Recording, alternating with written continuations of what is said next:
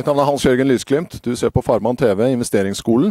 Og nå skal vi snakke om eh, såkalte investeringsprodukter, som er blitt så vanvittig populært.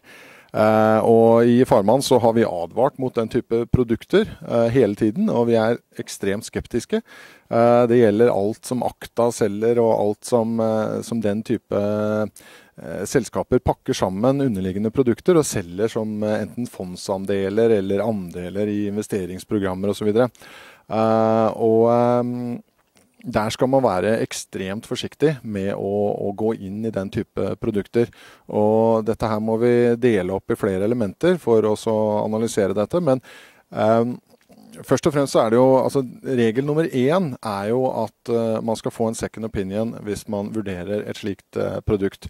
Du skal aldri kjøpe et uh, såkalt investeringsprodukt av noen noensinne etter bare å ha snakket med de som prøver å selge deg dette produktet. For de, er, de har en skjev altså incitamentstruktur. De ønsker å selge deg dette her, og har ikke dine beste interesser i bildet. Så ha med deg en rådgiver, eller, eller gå til en rådgiver og, og gjennomgå prospektet osv. Eh, før du gjør eh, den type investeringer.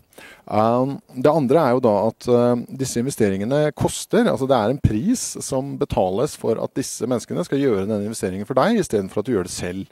Uh, og, og, det må man ha veldig klart for seg. og Det er en ganske høy pris faktisk over produktets livslengde. Så snakker vi ofte om 10-20-30% av, eh, av uh, inngangsverdien som den kostnaden det vil være å være med i dette produktet. Så påstår jo de da at de forventer avkastning som gjør at dette blir spist opp, og at du totalt sett allikevel kommer bedre ut av det. Men det er en, en forutsetning som du skal ta med en stor klype salt.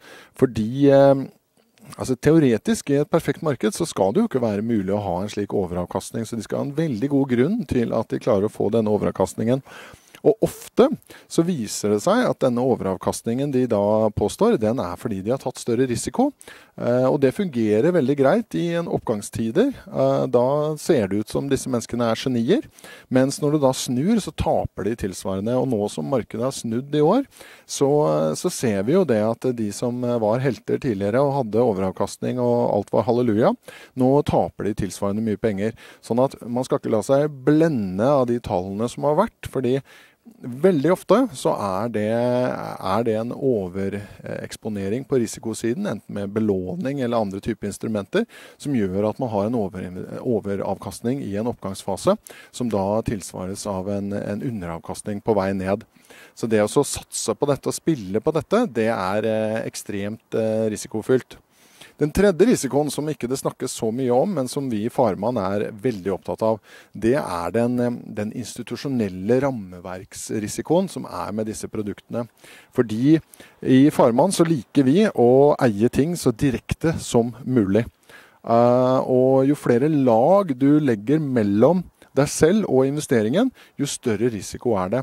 Og I sånne gode tider som det er nå, hvor alt er fryd og gammen og det ikke er noe krig her i Norge, og, og, og vekst og, og, og, stabil regjering og alt er fryd og gammen, så tenker man ikke så mye på det. For det, da spiller det kanskje ikke så stor rolle. Men, men dersom eh, det blir problemer, så dukker det opp med en gang. Og det, det beste eksempelet er jo selvfølgelig Terra, som klappet sammen. Eh, og der hadde man da massevis av lag mellom seg selv og investeringen. Altså, Tenk deg, eh, altså Den mest direkte investeringen er jo hvis du selv eier gull. Altså Har du en, en gullbare i hånden som du, du selv har, eh, så, så, er det noe av det mest direkte du kan for Du har på en måte posisjon, possession av den. Du har den direkte med deg selv. Men så kan du da begynne med sånne lag. altså Hvis du da deponerer det i en bank, så har du et papir. ikke sant? Og, og, hvis du da putter det inn et fond, så har du enda et lag med papirer. og Så har du et derivat på det, og så har du et fond i fond, og så, og så har du masse sånne lag. Og for hvert lag så er det juridisk risiko. Det er eh, landsrisiko. Det er masse risiko med de som forvalter dette her, og personlig risiko. Og det kan bli rettssaker på hvert element, og det kan bli midlertidige forføyninger på hvert element. Og, altså, hvis du går inn i disse strukturerte produktene, så er det ikke altså det er ingen som har oversikt engang på hvor mange lag det er mellom det papiret du har, den investeringen du, du mener du har, og den underliggende tilgangen. Om det er eiendom i Berlin, eller om det er gull i et hvelv i London, eller, eller, om det er aksjer et eller annet sted, eller hva det er. Så er det massevis av sånne lag, og det ble jo så tydelig i Terra. Der er det masse mennesker nå som, som sliter og ikke helt vet hva som skjer. Det kommer til å ta mange år. Og i USA er det enda verre. Sånn at uh, jo færre lag du har mellom deg og din investering, jo bedre er det. Det er en tommefingerregel som du kan bruke hele tiden. Jo færre lag, jo bedre er det. Uh, sånn at uh, Istedenfor å kjøpe et eiendomsfond via et eller annet meglerforetak som du ikke engang vet om er der om fem år. ikke sant? Det, det er mange av de som kommer til å gå under nå. Og, og, private equity og, og, alt hva det heter.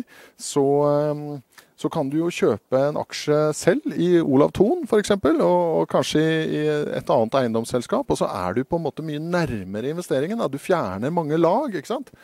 Um, og, og, dette kan du belåne og styre ordne selv. og, og redusere da risikoen for at det blir trøbbel eh, nedetter i, i denne, alle disse lagene som ligger mellom deg og din investering. Så eh, så det gjelder disse investeringsproduktene osv. generelt. Vi, vi, er eh, veldig skeptiske og, og anbefaler eh, ekstrem forsiktighet med disse investeringsproduktene. Grunnen til at de pushes så hardt og har blitt så populære, er jo selvfølgelig at de som selger dem, tjener mye penger på å selge dem. Uh, og det, bare det burde jo reise store spørsmålstegn ved enhver som uh, har lyst til å gå inn i disse produktene.